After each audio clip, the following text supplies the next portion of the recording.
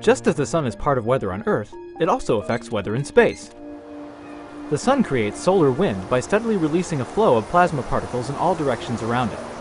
Sometimes the sun gives off a flash of light and X-rays. This is known as a solar flare.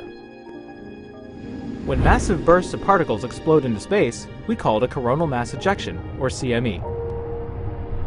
When a CME is directed toward Earth, it hits the magnetosphere, the magnetic field around our planet that protects us. If the storm is large, we may even get to enjoy a light display in the sky called the auroras. In space, satellites may be damaged, and astronauts should take cover. On Earth, people do not feel any physical effects. We may lose electricity in some areas, polar flights may be rerouted, and satellite services may be disrupted. While these situations aren't ideal, they are rare and fixable. This is why we will continue to study the Sun and its interactions with Earth and the solar system.